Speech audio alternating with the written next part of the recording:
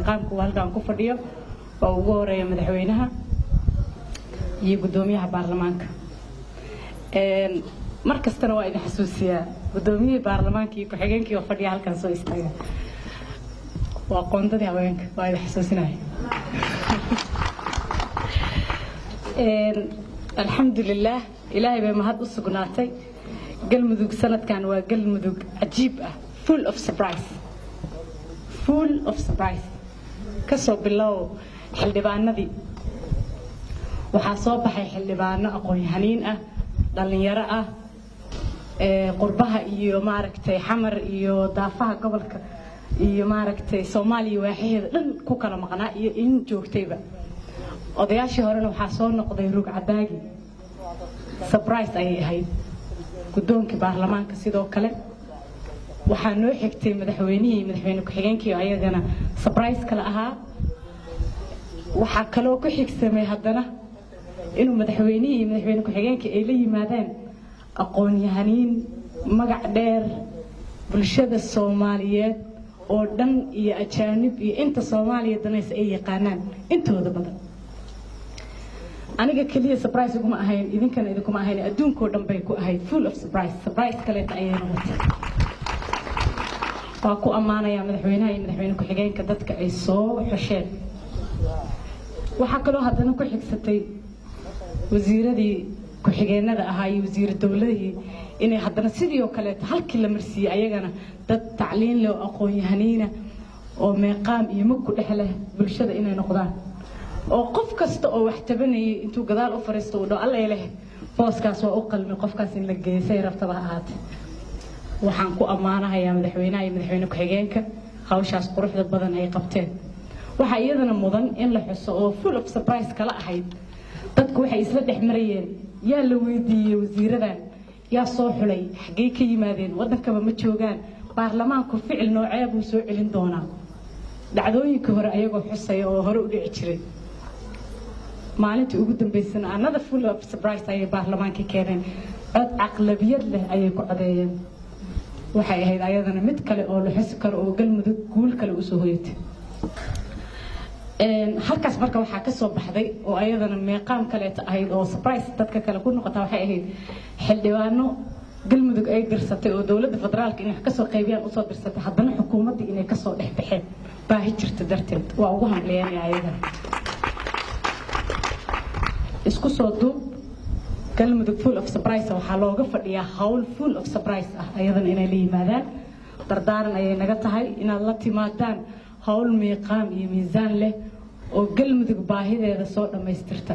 Meeshaan ciyaar ma taalo sheeko ma taalo maal raadis iyo waxaana waaba la iskala soo tego waa arki kartaan hawsha meesha marayso. Waxaa loo baahan yahay wax la taaban karo in la qabto. Waxaan soo dhaweynayaa baarlamaanka kalfadhiyadeeda xildhibaanadii naga maqnaa oo dib noogu soo laabto waxaan leeyahay soo dhawaada ku soo dhawaada baarlamaankiini guddoonkii aad doorateen madaxweynihiin iyo madaxweyne ku-xigeenkii iyo golihii xukuumadda idinka aa ansixiseen. Ku soo dhawaada waxaan kaloo ayagana soo dhaweynayaa xildhibaano cusub oo ku soo biiray oo xildhibaanadii ka tanaasulay maxaa la yidhaahdaa xilkoodii oo ay u socon weysa inay shaqada sii wadaan ku bedelay booskooda. Ayagana waa u mahad celinaya waxaa leeyahay soo dhawaada ku soo dhawaada baarlamaanka. Waxa haddana looga fadhiya ee nala ka sugahayo ee bulshada aad aragteen halka ay marayso maanta dhibka ay ku jirto iyo maaragtay cuduradan isdaba ordaya iyo baahida iyo dhismo la'aanta iyo tacliinta yar iyo yacni ma taaban karo amniga wax kasto aad arkaysaan. Hanka laydiin hayo inuu idinka soo muuqdaan rabnaa haddii ilaahay yidhaahdo aada la soo baxdaan xukuumadda cusub maadaama uu madaxweynihii idiin dhiibtay oo idiin dhiibay wakiilkii isaga loo dhiibay oo yidhi raggan baa ku filan god kastoo loo baahnaa in la gala ay geli karo. Please don't let him down. Madaxweynaha ha lala shaqeeyo madaxweyne ku-xigeenka ha lala shaqeeyo baarlamaankana tuhun waxba ma jiro. Siday idinkugu codeeyeen ayay gacanta idinkugu taageen ayay idinla shaqayn doonaan. Haddii aad qaadataan waddada fiican oo hufnaanta iyo heelanaanta aan anagu madaxweynahan ku dooran idinkana idinku dooran ay idinkana dhinaciina u bilowdaan khilaaf ma imaanayo galmudug. Intaas ogaada haddii shaqada laakiin ay timaado qofba inuu diyaarad iska raaco madaxweynihii aad niyad jebisaan annaga idin doorana niyad jebisaan shacabkii niyad jebisaan waxaan noqonaynaa dad kala daatay iyo shaqo xumi halkaasi ka soo baxaysaa waxaa farxad leh caawa inaan wada joogno. Inta naga maqanna ay dabcan daawan doonto oo maaragtay falaadyada xiran dartood u maqan. Gudiyadii aada la shaqayn laheedeen horaan u dhisanay ka baarlamaan ahaan. Maantay gudoomiyaha iyo gudoomiye ku-xigeenka iyo gudiyada joogtada ah waxaan ku ammaanayaa baarlamaankeena. Baarlamaan frame uu leeyahay ama shaqo uu leeyahay ama xafiis laga rabay inuu sameeyo oo aan noo dhisnayn ma jiro. Wuu noo dhisan yahay. Afartii bilood oo aan shaqaynayna wax walba oo baarlamaan looga baahan yahay iyo shaqo walba oo looga baahan yahay iyo qorshihii afarta sano ee baarlamaankan uu jiro ay ku shaqayn lahaayeen way diyaarsan yihiin. Sidii la idinla xisaabtami lahaa way diyaarsan tahay sidii la idinla shaqayn lahaana way diyaarsan tahay. Sidii la idiin tusi lahaana way diyaarsan tahay.